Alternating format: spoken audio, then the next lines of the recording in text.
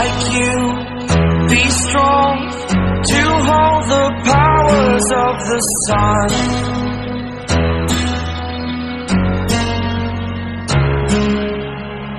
To dream